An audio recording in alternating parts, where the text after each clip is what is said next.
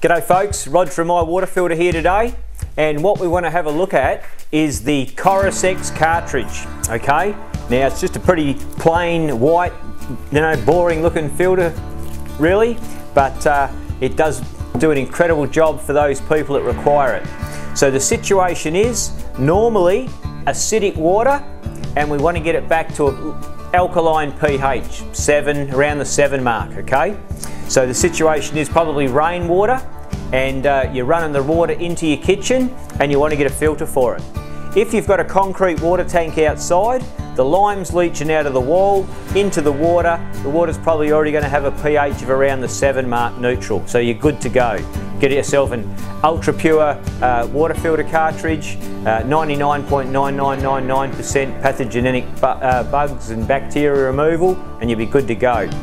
But if you've still got the acidic water, it's just not good for people to be drinking acidic water for an extended period of time.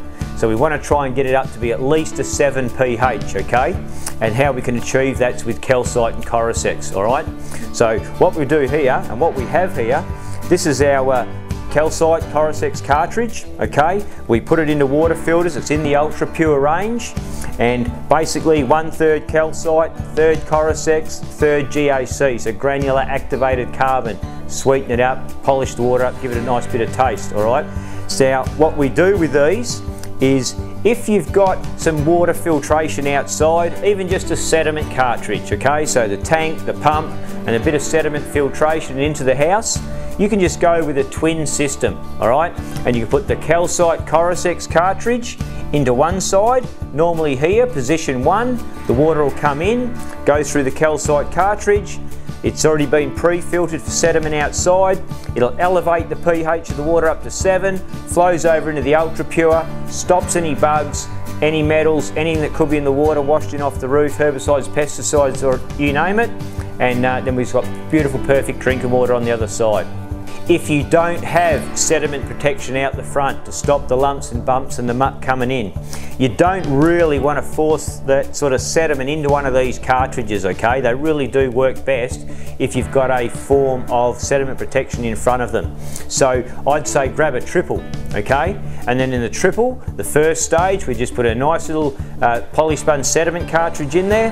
That'll forefront, that'll block all of the rubbish, and that will leave cartridge number two for the Corosex, elevate pH over into the ultra pure, clean it up, stop the bugs, we've got beautiful water, okay? Now, you can sort of see here, it is pretty plain cartridge. You'll see on the bottom it does say uh, made in the USA, it's stamped into the bottom. Uh, OmniPure USA, up the top it says this way up. So it's got to go this way up. If you've got a bench top cartridge, they are an under sink upside down. So on bench tops, this way up goes down.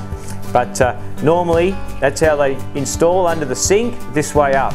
Okay, uh, water just comes in at the bottom, all the media's inside, the water elevates up through the media, dissolves, the water grabs what it needs, what it's hungry for, elevate the pH, flows out the top, and then flows over into the next cartridge. Okay, so if you've got acidic water and you want to uh, polish it up, get it up to a pH which is alkaline, 7 and above, then uh, take a look at this Corosex cartridge. It's a beauty. Thank you very much.